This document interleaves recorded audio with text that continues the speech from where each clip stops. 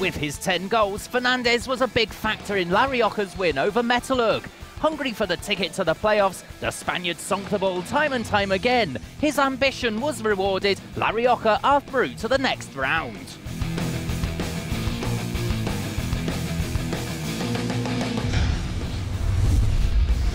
The Esteki brothers impress us more and more at Bucuresti. Against Suminho, Sajad Esteki nailed 14 shots into the net. The Iranian stood out with his shooting power.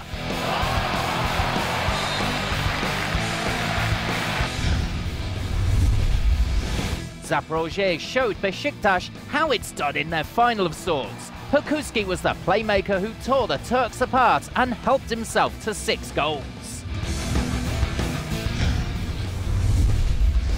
Once again, the match of the week provided some brilliant handball. Lazarov really pulled his weight and scored nine goals against the Parisian star ensemble. He is a guarantee of goals from both 7 metres and the back area.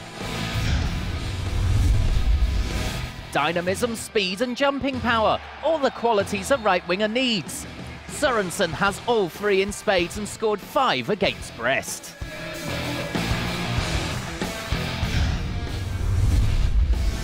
The youngsters of Zagreb caused a shock with their win over the Leuven. The old master here, though, delivered a brilliant performance. Igor Vori, watch and learn.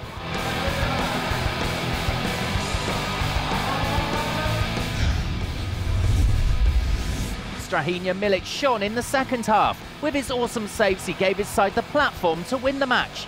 Even though they didn't take on his good work, he was still the best goalkeeper of the round.